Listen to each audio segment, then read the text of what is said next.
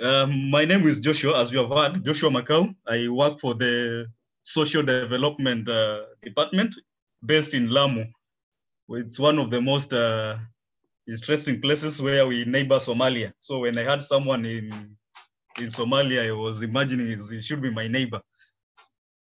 So uh, other than that, um, um, I'm also a student uh, undertaking uh, community development and uh, cooperatives. I, I, and I, I, in, a, in, a, in a bid to see how we can use cooperatives to foster community development. Uh, as a second bachelor, you know, it's funny doing a second bachelor. I decided after my first master's, I go for a second bachelor in cooperatives and community development. So that's why I have a passion for community development. I usually tell people um, I'm a community development practitioner by choice because my first undergraduate was in, in information technology. So I chose to do community development other than uh, pursuing the other field. So I, it's pleasure being in the community development section and uh, having all those other sectors which I usually try to bring into play. My areas of interest are project management, monitoring and evaluation, stakeholder management, and uh, actually my research was on stakeholder management. If on request, I can share the report. Maybe part of the, my presentation has been formed by that uh, master's research. So I would like to take you through my presentation. I'm not sure about the screen sharing um, for Zoom, share screen, share screen, that one. Let me see if you can see my screen. Can you see my screen? Yes. Yes, Yes. yes, we can. Yeah, that, that's fine. Yeah, Sure. yeah. Okay, that's my presentation. Go to presentation mode. Yes. Go to presentation mode. Um, you are viewing screen, uh, slide, uh, slideshow Just click from the beginning. from the beginning. Yes. So that's what I want to talk about today. Participatory evaluation of community development projects. And as I've said, it's formed by my master's research, which was uh, the role of stakeholder management in community development um, projects, monitoring and evaluation in, in Lamu. I based it in Lamu, which is part of Kenya. So that is the topic I would like us to do today. Let's go to straight to introductions. Uh, in the introductions, I wanted to talk about community development and um, why we need to monitor community development projects or why we need to evaluate community development projects. And so the, my, my first slide talks about introductions, where I introduce community development as a method or strategy or an approach that is supposed or that is envisioned to bring about a change through initiation of projects that are responsive to community needs. In your community, wherever you are, there are some specific community needs, be it in um, water and sanitation, in health, in education, conflict resolutions, especially for us, we usually find that you have a community of herders and community of um, uh, who are these? Herders and the other ones. Those, those who those who grow farmers. Oh no a, a herder is a farmer as well. So the cultivators eh, the crop crop farmers. So you usually find there are conflicts. So if you attempt to resolve that conflict it's, it's a it, it becomes a community development project. So i'm saying these projects can be initiated by government ngos civil society organizations, community-based organizations, or self-help groups, where we have uh, different people of uh, a, a particular social economic status coming up into to form a self-help group, and then they want to to use that maybe to buy a, a tank for water conservation. They want to build a dam for preservation of water. That is that is what self-help groups do. Uh, so on, uh, that is the definition of community development. Then this other animal we are calling a project is uh, defined there. I'm defining it as a temporarily endeavor and undertaken to achieve a desired goal. You only take a project to complete a particular goal or a particular objective. Uh, that's what differentiates a project from uh, an operation, whereby like paying bills, uh, paying salaries, um, normal office, uh, normal office work. That is operations because it can con continue as long as the office exists. But a project is something that you want to do for that particular objective, maybe to achieve a need, maybe to extend a new, a new, a new, a new roof, to to acquire a new building, to acquire a new, a new, a new information system, something like that. That becomes a project because you will not be doing it every now and then. So that's what I'm saying. It is, it is supposed to be for that particular goal or objective. So what is a project and what are the project characteristics? One, clear goal. You need to have a clear goal uh, that you need to, that project to achieve. And it is very important that whatever goal that project uh, you have envisioned to achieve is aligned with the organization that is sponsoring that project. It is aligned with the vision. What is the vision of the pro of the organization? What do you want to achieve as an organization? Then if you can bring, if you're bringing in a new project, that project has to be in line with that vision. You find if it is a, it is um, it is a, an organization that, that deals with gender mainstreaming, the project will look gender. The project will look at activities that will ensure that gender mainstreaming has been achieved. Again, a project is unique in such that two projects, two projects in an, in an organization in an organization can never be the same. Otherwise, if two projects look alike, it's better you combine them to, to, to become a bigger, bigger project. A project is temporarily, that's, that is time, down, time bound and it has deadlines. Again, as anything else, a project consumes resources. And of course, this, this, these uh, resources are scarce. And that is why we need to do monitoring. That is why we need to do evaluation. And then a project involves several stakeholders. You have several people who will be interested in your project. There are people with competing interests. There are people who, who want that project to succeed. There are people who don't want that project. Those are called stakeholders. So the other aspect we, were to, we, we are going to look at today is on participation. Because we are looking at uh, participatory community development evaluation or participatory evaluation of community development projects. What is participation? Of course, the simplest way is to look at it as taking part in an activity jointly with others so that you can share your different experiences, your different challenges, your knowledge with one another. It is also listening, learning, asking questions, and showing respect for all persons involved. That is participation. And, and again, that is uh, those are different levels of participation, especially when it comes to involvement of stakeholders. You can you can involve stakeholders by just informing them. Yeah, you tell them, hey guys, we are doing a project on this. No need, no more, no more, no more, no more input from them, just informing them. That is one level, and it is the lowest level of participation.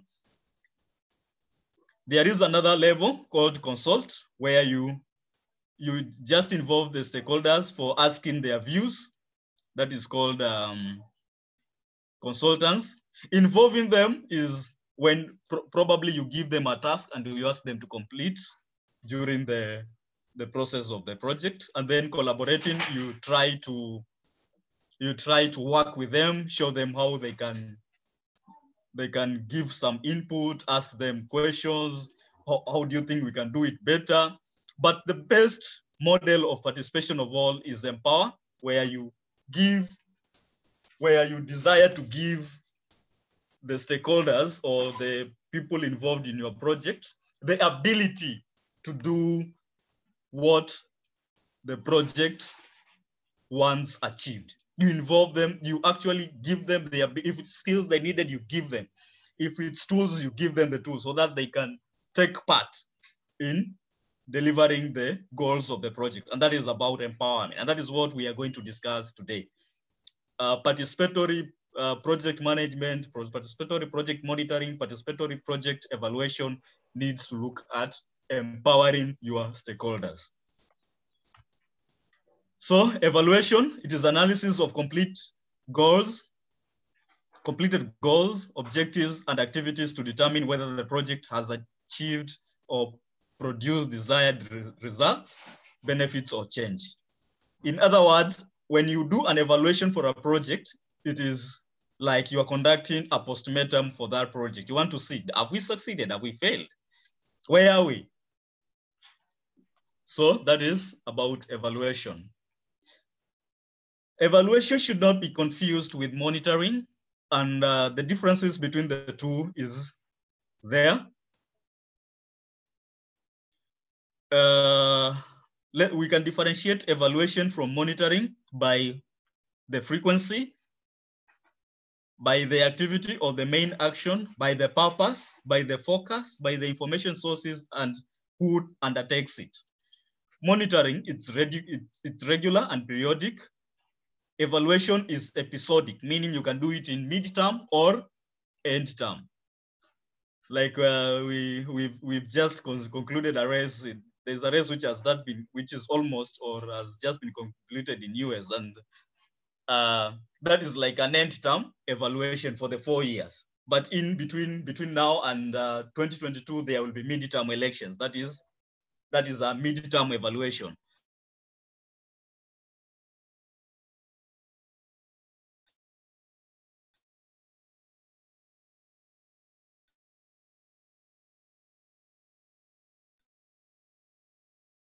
So evaluation needs to be, it involves collecting data and all that.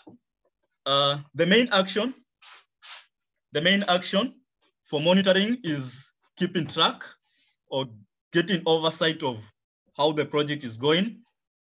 For evaluation, it's about an assessment. For basic purpose, why do we need it? For monitoring, it's about improving efficiency and adjusting the project's work plan. So for evaluation, you do the, you, it- it's one of the purposes is to see whether you can adjust how your project is going. Um, evaluation on the other side, it's about effectiveness, improve. We want to see how effective was this project? How effective was our campaign? What impacts have we made? And then that can help you in, in uh, develop future programming or future programs, develop them better so that they can, they do not fail as, or they do not, um, they do not fall short like the previous project did. Focus, monitoring is so much on inputs, processes, and outputs, like how much have we used today? How much have we produced? Today, how many, how many, how many people have we trained today? How, much do we spend training those people today? That is the focus of evaluation or of monitoring. Sorry. Uh, uh, uh, on the other hand, the focus for evaluation is effectiveness, how relevant that particular project is, what impact, and how cost effective it was. Information sources. Where do we get data for monitoring? For monitoring, information sources involve or are routine systems, field observations, progress reports, and rapid assessments. Uh, for evaluation, you do surveys and studies, exploratory studies. You can do you can do a you can do a baseline survey. You can do a midterm evaluation survey, and of course, you'll find that it is a bit expensive to do evaluation as opposed to conducting um, monitoring in, in terms of the information information required. So who undertakes evaluation and who undertakes monitoring?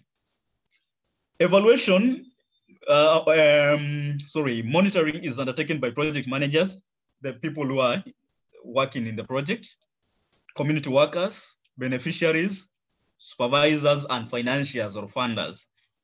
Evaluation, on the other hand, is taken by a higher level uh, program managers, supervisors, funders, external evaluators, and community beneficiaries.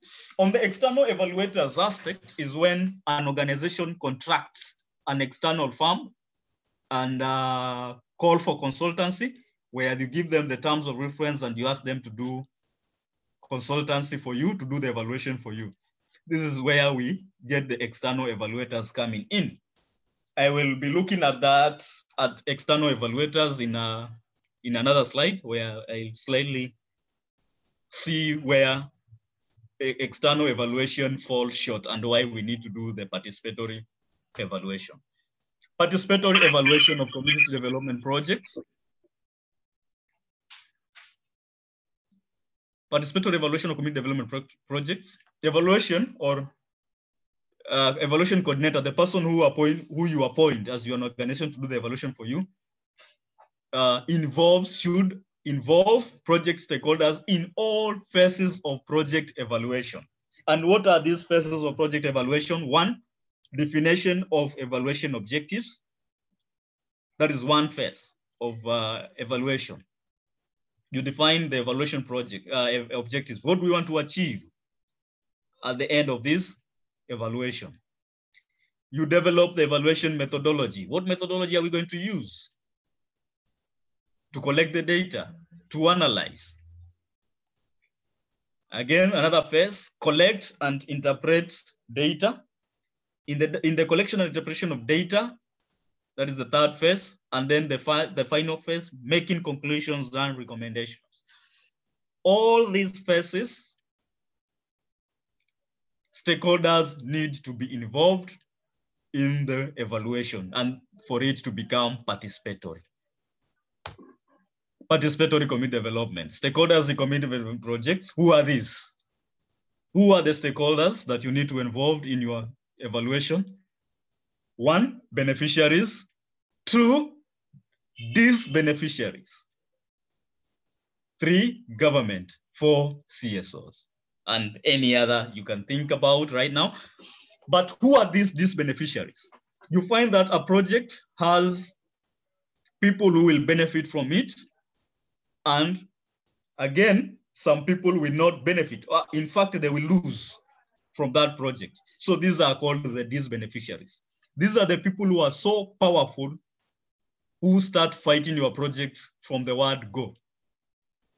If they know they are going to lose in that project, they are the people who, who will start fighting your project. But the participatory evaluation says you need to have to involve everyone again uh, on uh, on request in the in the in the report I'm talking about, I've done uh, justice to this topic and discussed the issue of power, uh, stakeholder power influence mat uh, matrix, which again can be gotten from that report upon request. Uh, on how you need to engage different people with different powers, with different interests on uh, uh, in project management and most importantly in the evaluation of community development projects. Again, government is a permanent stakeholder. You know that. In, it is usually interested in all the all the activities under its jurisdiction. Of course, by by by by virtue of it being interested in taxes, uh, in service delivery, and all that. So those are your stakeholders.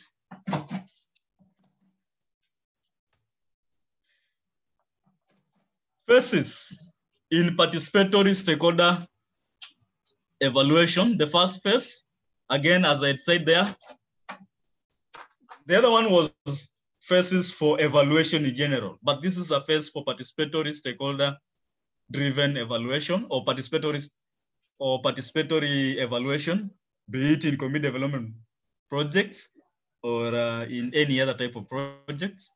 The first phase, one, it's about preparing or planning, pre-planning meetings for the evaluation, where you need to define the goals, you, identify, you need to identify the people you'll be working with, look at the logistics, uh, you do you do uh, you do a visual framework of the project. Those who are good in uh, design, you can do a design. You can do you can do charts. You can do maps to show who will be involved, who is where in that project, who is going to lose, something like that. Then you do uh, you do an evaluation planning workshop with your with your facilitators. Phase two, about planning again, you organize your stakeholders into a working group, of course, based on their interests. You define now evaluation questions with them. Identify data collection sources and techniques. Develop data collection instruments. Are they questionnaires? Are they focus group questions? Those, those instruments. Then finalize a sample of data collection sites and interviewees. Phase three, once you have done the groundwork, you now do, you prepare fieldwork teams, you conduct interviews and observations, analyze information collected, summarize fieldwork findings. What did we find from the field? That is about summarizing fieldwork findings. Um, the other, uh, the other step from there, uh, that is phase four. Uh, it's about formulating lessons learned because of course, once you do something, there is always, there's always a learning. Every, every activity is a learning process. So you want to summarize the lessons you have learned from, from, the, from the data collection uh, exercise and then you develop an action plan based on the evaluation findings. You can recommend. Then that then um, there's a after that there's report writing and distributing and discussing results finding with them. Again, the stakeholders. But you find in most cases when we do an external an external evaluator, they just come to the feed, collect views and go. And then they go come with reports. Of course, in most cases, they bring reports that that will look that will look good in the eyes of the in the eyes of the in the eyes of the of the of the project sponsor of course it said who, who pays the who pays the piper calls the tune so that is the case with uh, external evaluators whereby they may bring results that are too skewed again i'll be looking at that in another slide when I'll be discussing on the merits and demerits of participatory versus the versus the the conventional evaluation. There is the slide. Why? Why do we need why do we need evaluation? Again, conventional, they usually look at accountability and again, it gives usually a summary judgment about the project to determine if the funding will continue. That's what I say. Convention, it's all about, are we going to get more funding for this project? But for participatory, it's about how, how, how have we empowered the local people? How have we empowered the community to initiate, control, and take corrective action as far as the project is concerned? So that's a major difference. Who who does that? In conventional uh, monitoring, uh, or in, uh, sorry, in conventional evaluation, it's usually external evaluators. In the participatory, it's community members. It's the project staff. It's the facilitator. It's the project doing the evaluation and the community members, beneficiaries, disbeneficiaries, all those stakeholders put together. What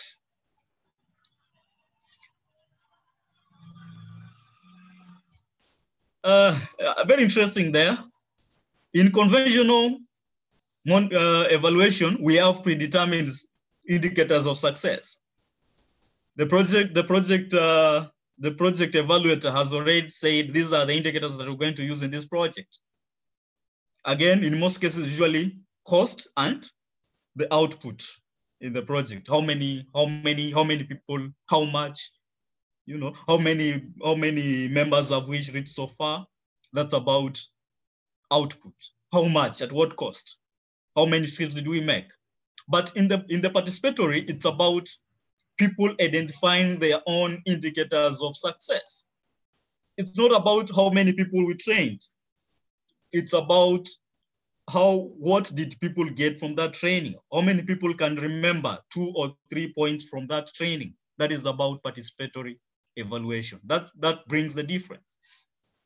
It's not about how many latrines we have built in a particular in a particular village.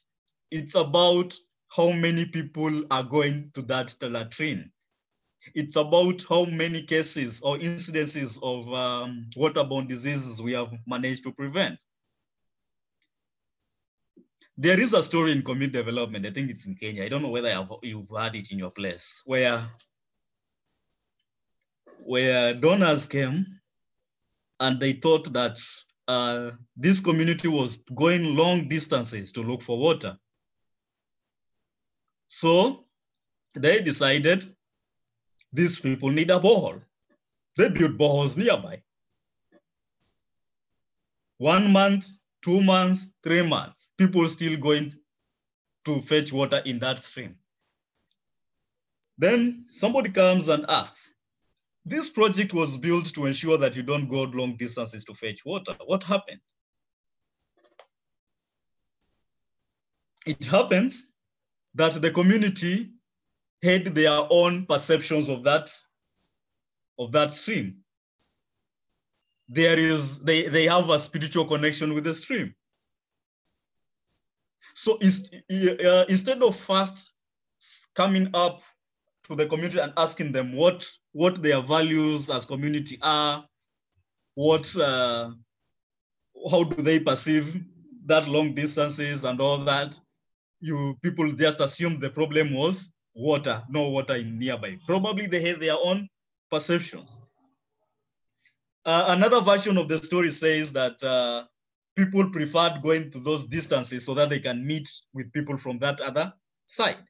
So those are things which the project had not addressed. So for a project to be successful, it need to have community members, all the, all the beneficiaries, the stakeholders, the disbeneficiaries on board. And that is why um, talking about participatory evaluation today. Then another aspect, how on conventional? Conventional, they focus on scientific objectivity, distancing of evaluators from other participants. They usually have complex procedures and delayed limited access to results. You find that uh, the project is designated, uh, sometimes you find that the project is designated confidential and it is taken to the to the chief boss in the organization for for his uh, and of course most of these those reports waste their collect dust in the shelves. That is about conventional. About participatory it's about self-evaluation. We use very simple methods adapted to the local culture we have open immediate sharing of results through local involvement in evaluation process for participatory it's immediate. We have looked at it. It, it is beneficial to us. This is how much we have benefited and all that. Uh, in the mid, uh, again, when, when do we do this? When do we do this? When do we do participatory? When do we do conventional? Participatory, uh, conventional is done mid-term. As I said, every, maybe if a project is four years, every two years we do you do an evaluation, then the end of the term evaluation. You look at look at uh, when you look at the call for pro, call for proposals or consultants, you'll find end term evaluation, uh, consultant being invited to do end term evaluation, uh, or again you can find a consultant being asked to do a midterm evaluation. So those are those are the timelines for conventional evaluation. For the participatory, it is any assessment for the project involved it is usually it's usually a convergence of monitoring and evaluation. The two phases are usually merged. In the conventional, no, monitoring is alone, is the process on its own. But in the participatory, it is it is part it is part and parcel of the entire process. Monitoring and evaluation are combined, and they are taking uh, they are taking they are taking uh, they are taking is it taking process? Yeah, they're taking process throughout as long as the project is alive. So that is the differences between the two. Why do we need, or what are the reasons for participatory evaluation? A lot of money is invested in community development projects by donors and governments. Again, you'll find that most community development projects are not sustainable. A number of actors in community development who are not coordinated. You'll find somebody doing this, another person doing this, another person doing that. Of which, if you did a participatory evaluation in your project, you should have identified all the people who have interest in that project. And by virtue of you inviting them in your meetings, they will also know that they need you in their project. So in the long run, you find there's a big network of community development, uh, not practitioners, are they practitioners? The community development uh, actors who are coordinated as stakeholders. Again, stakeholders and beneficiaries not well involved in projects. That is, that is why we need participatory. In conventional, we don't involve stakeholders, we don't involve beneficiaries a lot. We, in fact, we usually, we usually, in fact, for, for conventional, uh, those people are usually pre, it's like they are usually prepared on what to do.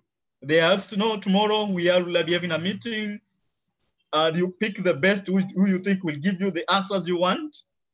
And those are the people you invite, you'll give them questionnaires, you can even guide them on what to write. And that is, and that is, uh, you call that evaluation. No, in evaluation, you let people express their views. And that is, uh, that is the importance of participatory evaluation. Again, most projects you find they are, they are supply driven rather than demand driven because I know your problem. Like the case I talked about uh, of um, of balls. It's supply because the donor had money for building for building uh, for constructing a borehole.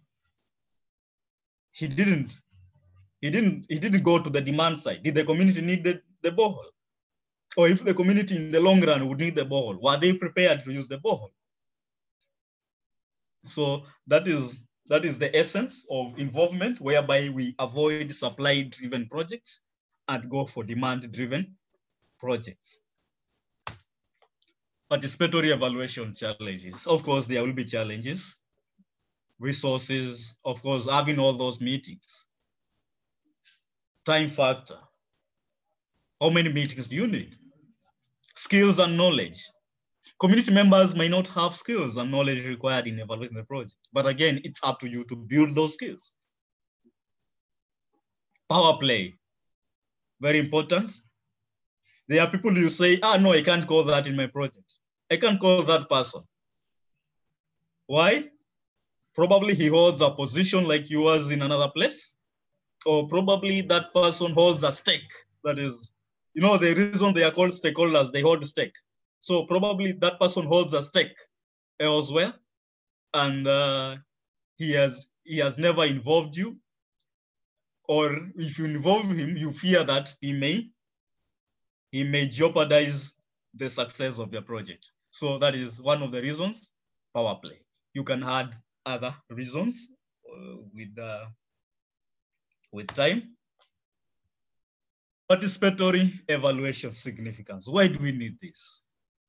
Again, it's, it's for accountability, it's for objectivity, it's for ownership of the project and results. In the long run, do we say that this that toilet was built by a donor, or do we say that project belongs to the community? If the community was involved in the whole process, again, they will be able to own that project. You find some schools where classrooms were built, but no students go there. Students, uh, the parents prefer taking their kids to other schools in the in the neighborhood. Reasons they were not involved. Probably they could have combined those resources and expanded that other school instead of building small, small schools which people had no interest in.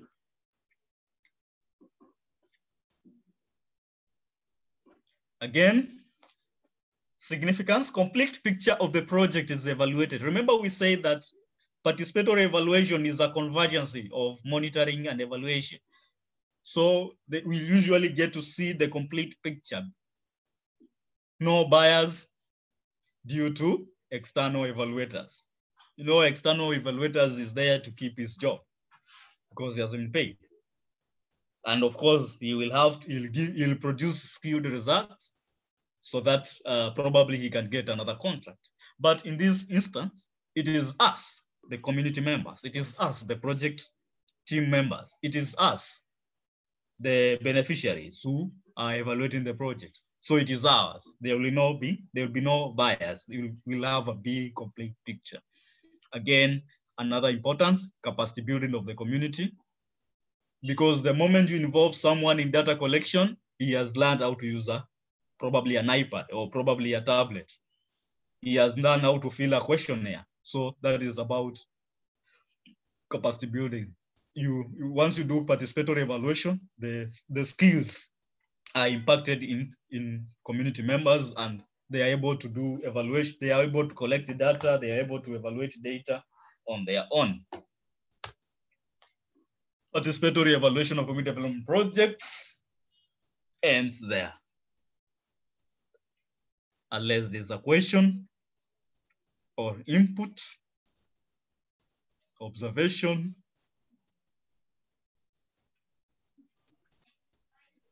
Thank you, Joshua. Can we give him a loud of uh, applause?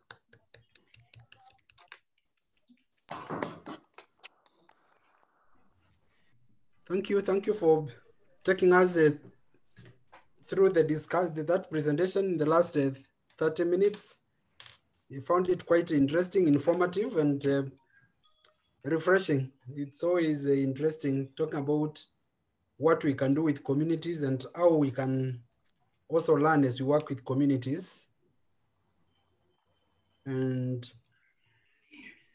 we can use the chat to, to raise any questions or to make any comments and to also seek clarifications. In community development, we are all students, we are all learners. So we don't want to assume that Joshua has all the answers, but we can learn with him we can share and uh, build our pool of knowledge collectively. Joshua is just a leader for today, but a leader amongst equals. Thank you very much. Any questions, interventions? They are welcome. Those who have joined us, please uh, feel free.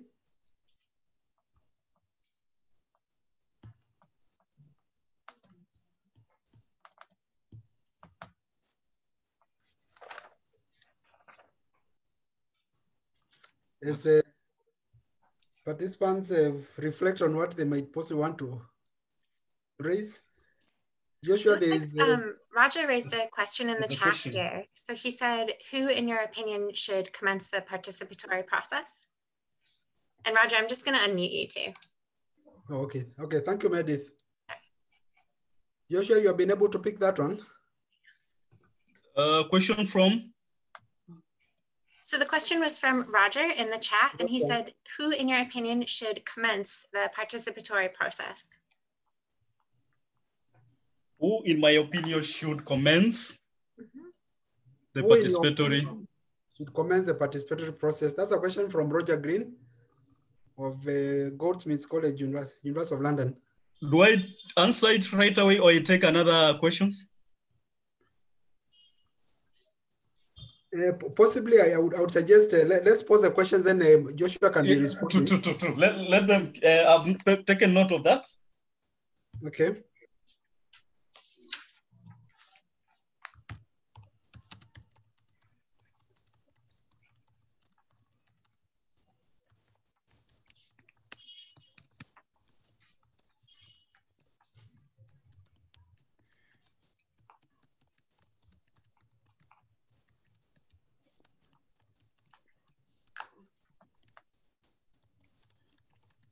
And I think there's no other question. There is one more coming, and uh, I believe people also typing. Okay, sir. How do you address imbalance?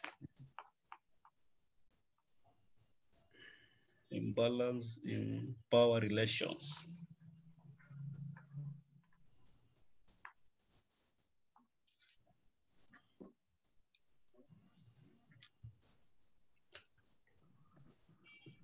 Maybe mine is not a question, but maybe something to reflect on. But it depends on how you look at it. It might also be a question. So that as we talk about the community projects and the aspect of variation coming in, different things are changing in our communities. For instance, if we talk about the current situation, it's now like almost a year, whereby we are having different challenges affecting our communities and we still don't have like a clear way, way out of this situation. So now when you talk about this community project, because currently, yes, we are in this pandemic, but we are still doing community projects. How basically are these changing seasons or different pandemics coming in? Are they affecting the different community projects? So that as we talk about beneficiaries, how do we take care of these beneficiaries? So that some of these beneficiaries, we are going to, we are going to involve maybe the key people in the communities, whereby these key people maybe if somebody can be able to mobilize. So assuming this person is able to bring the community together as part of the beneficiaries is maybe due to bad luck, maybe the person due, during this pandemic, what happens to this community project? So that even as we talk about involving this community, the communities at different levels. So when there's a change, either change of season or a pandemic comes in, how do these communities and the projects keep on? So that even as we plan, are we able now to factor in those different changes and how they affect these communities? So that at the end, when we do the evaluation or either final or midterm, how can we factor in all those different changes? So it might be a question, it might be something to reflect on, it depends on how you look at it.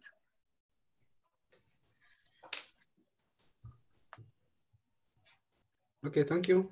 Possibly, Joshua, you can address those uh, comments and then uh, we can come back. Uh, the first question came from, um, uh, okay, it's, it's about who should commence the participatory process. Uh, as you said, evaluation, it's part of the project management life cycle. Probably I didn't, I didn't, I didn't capture that, but uh, pre previously there used to be a framework for for project management developed by PMBOK. No, is, is, it a PMBOK and then developed by uh, APM or something like that, uh, Association of Project Managers. But the, there's a big book, Project Management Body of Knowledge, which lists at least uh, 12 knowledge areas and uh, five processes, five process groups, totally up to around 40, 40 something, 42 to 45 processes. And one of the key processes was stakeholder management, not process, one of the key knowledge area is stakeholder management, which was added uh, recently. And then one of the one of the processes is monitoring and evaluation.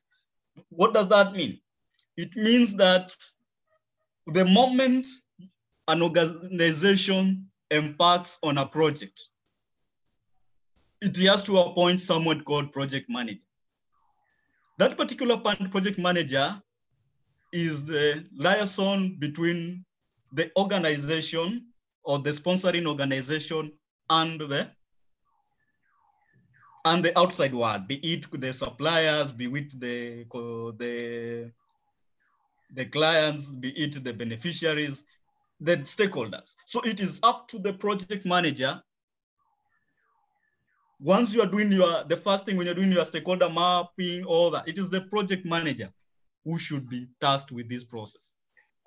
So on the issue of who, it's the project manager. I think that is what I've said for who should commence the the, the participatory process. It's the project manager for me. Then um, the issue of power plays in the stakeholder, the stakeholder power, the stakeholder power and influence grid. Again, that can be gotten from that uh, report if I share. there is always uh, Lan nga There's- wireless na yes. Sorry.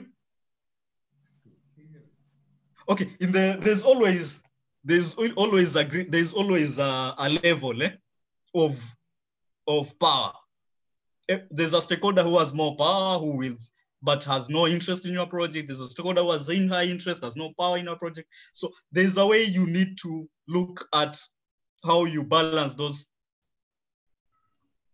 how you balance those uh, those uh, stakeholders. You can look at a stakeholder, a particular stakeholder. He has a lot of interest in your project. He's calling you every now and then, but probably look at him, he can do much. So you need to know again. The best, another best thing is to divide these stakeholders along interest groups. Those who are interested in, uh, in your project because they will lose probably a, a particular resource like land. You don't come you don't call them in a joint meeting, the first first meeting with first people who are going to gain from the project because they will look at there'll be an adversarial relationship. So you need you need to you, you need to have your own judgment. See who has this what interest. Divide them into interest groups. You can even be meeting them differently so that you don't bring everyone on board and then in the long run you you you end up having chaos. I think that is uh, about the issue of balancing power and uh, relations in stakeholder. Have them in divided into interest groups. In hostile communities, for example, during war or whatever conflict, what is the best participatory approach? Again, in community development, there is always there is always uh, one of the principles: do no harm. Do no harm. You should not uh, bring your people together in a place where they will be at risk. You should not put yourself at risk. So, in that process, if and of course, in most cases, you'll find those people are people who are very who are not techno savvy. You can't say they'll bring them. Uh, you'll be sending them online questionnaires. They'll, they don't have internet in the first place. Like for me, uh, sometimes there's a, there's a time I had to to, to switch my place of work to another place so that I can get internet. So there are things which don't work in in in some places. So and I, so for those uh, those areas, I think again you don't uh, do a project where you will jeopardize your safety or the safety of your community. Uh, but again, in, in, the, in that in, in that context, the security team will be best to to guide. I'll stand guided by members on that. That is that is how far I can answer. What kinds of issues or barriers do you have you encountered? What kind of issues or barriers have we encountered to community engagement? Mostly the issues that you find in community, especially in areas like where we work. It's about uh, literacy. It's about uh, disinterest and again, it's a most uh, and uh, most in most issues you find that people have their own they they they place their own interests first. What is that? Again, the, the issue of stakeholders. How big is my stake in, in the whole project? So I think that is where now you need to to to to sharpen your skills, negotiation skills, so that somebody doesn't go with a bigger stake than than another in a, in a particular project because in the long run in the long run we are here to to serve as custodians of the resources that we have been endowed with that is for about um, that is for about about challenges similar question to dr Moye. i find that it is um, I'm, in, I'm an American. Kenyans tend to tell me what they think I want to hear instead of the truth. Sure. No. yeah. so how can we evaluate projects when there's this power imbalance? Should there be a third party doing evaluations?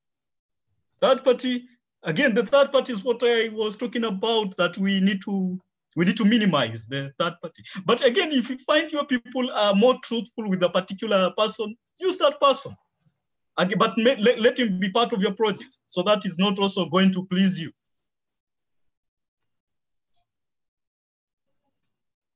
Mm, true. So uh, again, uh, Mr. Nick, is is it Madam Nikki? Madam. Madam Nikki, Yes, yes, this is this is you. yes, that's me. Uh, tends to tell you what they think is, you you you are interested in. yes. Yeah, but uh, I think uh, you need to learn the system. You need to learn the system. Get, of course, there is always a truthful person there. If it's someone you want to use, you can use him. You can you can have a deputy project manager or something who, who is uh, of their of their of their of their of their of, of their type. You can go ask questions, have discussions with them. You know, the you know the problem with us is when you give somebody a questionnaire like right now. I feel even if no, nobody wants to look stupid. And I was telling someone I, I won't I won't answer his questionnaire because he's, he had made it look like an exam. Nobody wants to look stupid. Everyone will will juggle his head until he comes with the best answer ever. But once it is a discussion like this, uh, in the long run, there will be some element of truth. So I'll encourage open discussions quite often. In most cases, have them in the most informal setup because those are the times the true the true character comes in. So that is for for Nikki. Yes, thank you. Joshua, Yes. I could just add uh, for Nikki, well, time also tries to sort out these things because over time, people now people get used to you and exactly come to understand what you are capable of, what you are not capable of, and then of of course expectations are mediated, and ultimately now some normal way of relating comes comes into place when ultimately you are what what you what you present what you represent in the community then becomes apparent to the community. And then now you can start relating on a real more realistic level of um, of operation. Because then they know what you can't give what you can't say what you can't do. And then you, you have a normal process of relating. Because most of the, the most of these these uh, stereotyped expectations and questions or answers are based on the, the the fact that people may not really know exactly who you are and what you what you present what you represent in the community. But ultimately once time has passed and then people have now a better evaluation of you then they'll be able to tell you the truth and that's what participatory processes enable us it is not you jump in and you jump out. Once you come in and then of course you're in a hurry and of course people expect you're also going to be out so fast. Then they'll give you what they think is good for you and then you're gone. But if they realize you are there for the long haul then uh, they, they, you become part of the process and then you're also able to evaluate the reality on the ground in terms of what is real and what is cosmetic or what is stage managed for you okay joshua you may proceed Peter And, uh, now that I'm also talking, the maybe you can also take advantage of the break. For purposes of uh, recording, we might want to ask uh, Meldith to take a photograph so that we can also use it on the website, IACD website. For purposes of ethics, uh, in the event you are not interested in appearing in the the photograph, would ask you to shut down your video It's, a- is an ethical imperative so that uh, we get your consent to appear in the photograph and you'll be part of the dissemination that takes place from IACD. Yeah, Mudoni, thank you for removing your mask. I hope it is safe to do so. Is everybody ready for their picture to be taken? When you are ready, you, you, you Okay, I'll give you a three, two, one. Ready? Okay, Yeah. three, two, one. Okay, that's it. Okay, thank you very much, and uh, you're welcome. From IACD Sub-Saharan Africa, we are grateful to host you and to that that you're able to be part of this uh, discussion. This is the fifth in the series, and we are going to have the the next one in um, December 9th, every second Wednesday of the month. We we have uh, this uh, collapse for the Sub-Saharan African region um, members, and uh, from this from this series we are open to all members of IACD, not just in the region, all members of IACD. And thanks so much, Meldith, for the invitation. You can see we are, we are quite aligned from across the globe. Thank you very much. We'll be communicating the topic for for the next for the next uh, series, the, the sixth edition of the, the webinar in, in due course. So Joshua, con continue. Yes, Peter Dayan, I'm seeing he has introduced uh, an interesting topic. Uh, in my other life, it's called uh, recursive relationship. Those, those in maths and uh, computing. He's asking, um, how do you measure effectiveness of participatory evaluation? Which is like, uh, how do you evaluate evaluation according to the way that question comes? So this is an interesting, and I would like uh, I would like uh, to, again, in the report I, have I've talked about, there's a, there's a book on monitoring and evaluation for by CR, CRS, a joint book by CRS, Catholic Relief Services and uh, American Red Cross. I can't quite remember the, the author, but it has, it, it had hinted at something like that. So probably you can look at it. Uh, but in most cases, uh, in a particular places, in a particular project, when effective evaluation, it's participatory, it's all that, the results will, will just come up. People will be happy. You know, we start measuring success in other more abstract levels, eh? other than uh, simple numbers. You know, when it when we we start talking about numbers, it becomes scientific, too much scientific. But in community development we have it's, it's about qualitative. It's about the qualitative nature of uh, community. So i think for diane you can you can try to see something to do with monitoring and evaluation american red cross and stroke catholic relief services. I'm sorry i've forgotten the other. But again if you get that report which i'm talking about maybe i can share with the doctor uh, it has made uh, it has made a statement to to that effect. Uh, somebody wants to somebody wanted to leave. I think I'm done for the questions. Roger Green, you can go with your question. All right, thanks, Daniel. Joshua, hi there. Uh, really interesting presentation. Many thanks. Uh, just a question, I mean, it just follows on from my first question is and it's the thing about um, who initiates this participatory process, because uh, you could argue that um, it's always the individuals, organizations with the power who have the ideas who commence the process rather than it being a sort of co-produced uh, way forward. And I think often, and I think some of the questions and some of your answers quite rightly, that if you if you're undertaking community development and you are an outsider, which is often the case when you work with communities, well then to, initiate a participatory process means that presumably you have to be accepted up to a point by that community or and groups. So I think it's a real challenge because I think often the participatory process really is a sort of a guise for a top-down approach.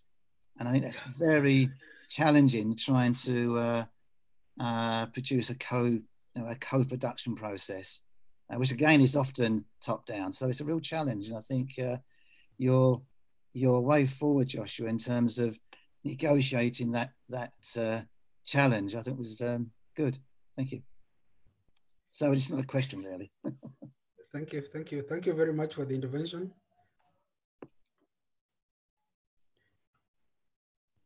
Well, generally, of course, from what uh, following from what Roger Green is saying, the by design, as the project is be, be, being designed, yeah. there's an imperative also to, to determine how evaluation will be done. And so the project leaders to a large extent will determine how the project will be evaluated. And in the event it is participatory, of course, they will also design how the process will unfold. And the, of course, the leadership process will come through. The question is, can we have absolute participatory evaluation process where we can have then the power, the, the powers of the project leaders or the powerful within the community neutralized.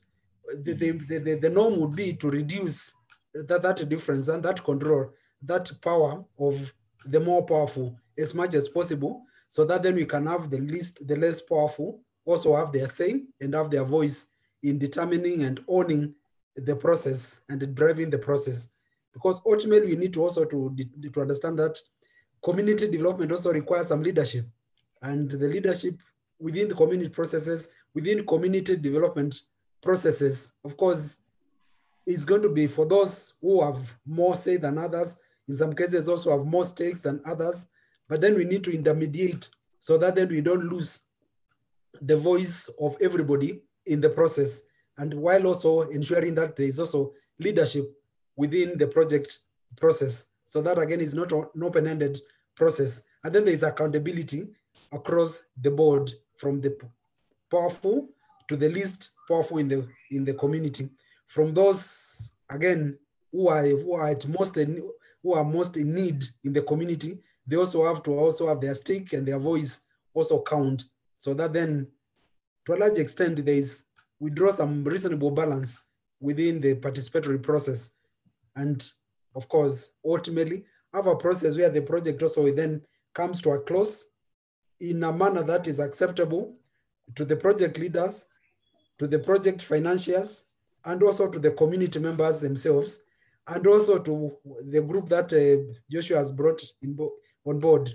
Those who have no interest, who are even likely to sabotage the project, we also placate their interest so that they can also open some space for us to operate and get their proje our projects uh, benefiting the communities for whom these projects are being started. Any further questions, comments? Dr. Moya, maybe I can give a comment. Yeah, please on. I think something that's coming out very clearly is that uh, stakeholder analysis, stakeholder mapping is a very, very key uh, and uh, important process when we're doing uh, projects at the community level, at whatever level. I think it's one very important thing because I think most of these things we can address uh, and we can bring in participation if we are able to do a proper stakeholder analysis during the design of the program or the project. Yeah. Thank you, thank you, thank you, Modoni. And you, you recall that that's what uh, Joshua had started on by determining the stakeholders, so that then you know exactly how to placate each uh, stakeholder and also how to use whatever stake they bring on board into the project. Any questions, any comments, observations?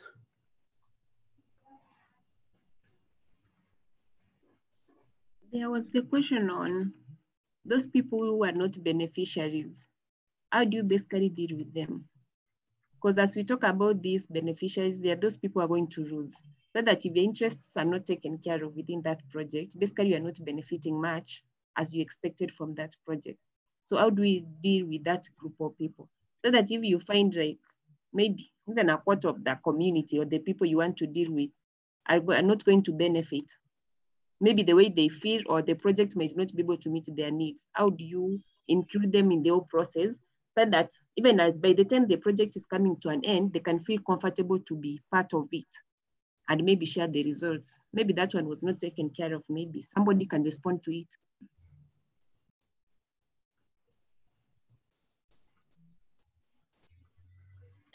That's a, nice, that's a nice question. Anybody can uh, respond. We don't want to assume a monopoly of knowledge by Joshua. That would be any community development.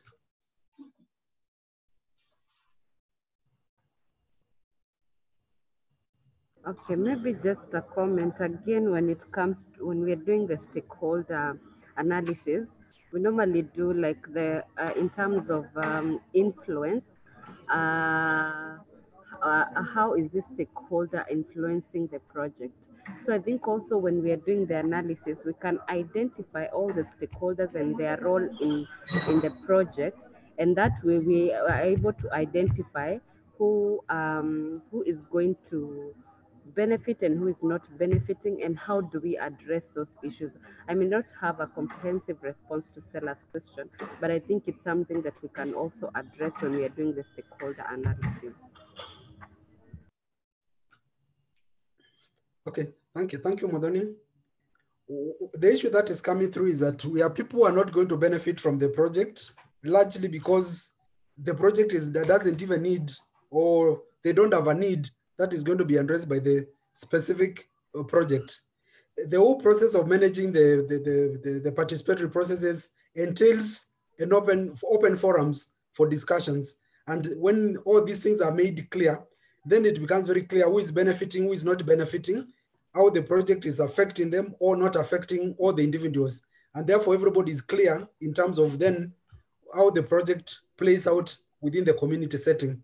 And once then there is a open sharing of information, then it becomes very easy to manage the expectations for the different groups, the beneficiaries and the non-beneficiaries of the projects. And therefore those who have no stake, all who are not likely to benefit from the project, or may not be affected adversely by the project, then they already know their position and then becomes very easy then for all these individual, all the parties to coexist within the community environment or within the project ecosystem, each knowing what, where they, where they are placed as the project plays out generally.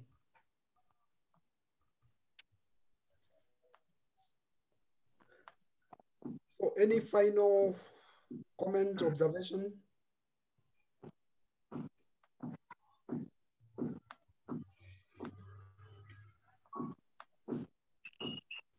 The chat uh, before.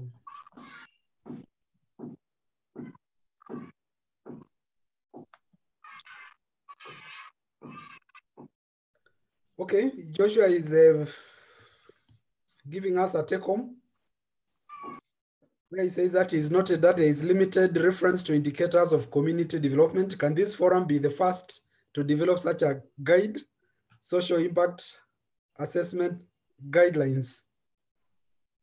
Joshua is inviting us to, con to constitute ourselves into a working party to develop this. Any comment and observations?